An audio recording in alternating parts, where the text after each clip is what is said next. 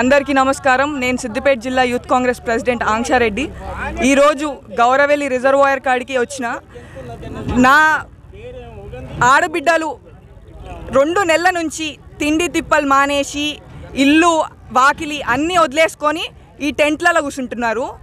సతీష్ బాబు హరీష్ రావు కొత్త ప్రభాకర్ రెడ్డి బండి సంజయ్ మీ కూతుర్లు మీ ఇంటోళ్ళు ఓ నాలుగు గంటలు కూర్చుంటే మీరు ఊకుంటారా అంటే మీ ఇంటోళ్ళ కాదనేసే కదా.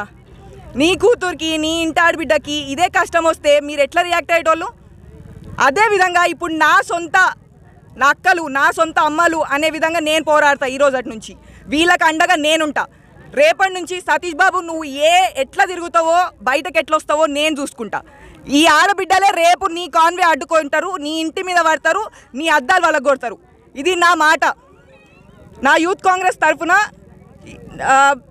నువ్వు ఇంకా రెండు రోజులలో వీళ్ళకి ఆన్సర్ చెప్పలేదు అనుకో నీ ఇంటి ముట్టడి చేస్తాం. ఇది డైరెక్ట్ వార్నింగ్.